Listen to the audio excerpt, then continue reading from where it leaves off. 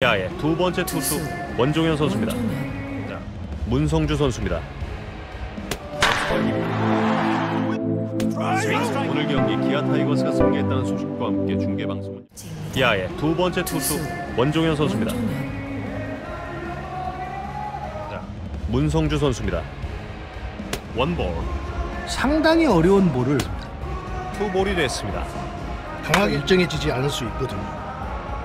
유리한 카운트에서 투수가 어떻게 승부할지 파울이 되긴 했습니다만 공격적으로 스윙을 자- 굉장히 참아내기 어려운 궤적인데 참아냈어요. 끌려 나왔습니다. 탈삼진으로 아웃 카운트 잡아냅니다. 지금은 본인이 생각한 대로 투구가 됐어요. 타자는 두번 타자 신민재 선수입니다.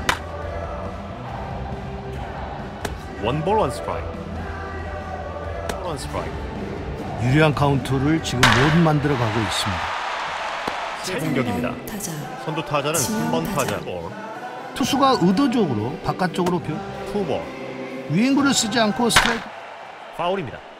타자가 불리하지만 유리한 카운트가 만들어졌을 때가 되거든요. 풀 카운트로 갑니다. 밀어냈습니다. 3루수 잡았습니다. 1루로 틴 선수입니다. 원볼. 볼 카운트 one and one입니다. 각도가 너무 어이없게 스윙을 했습니다. 원볼 투 스트라이크. 내야에 떴습니다. 타석은 1루 쪽 땅볼이었습니다. 뛰지 않습니다. 원볼.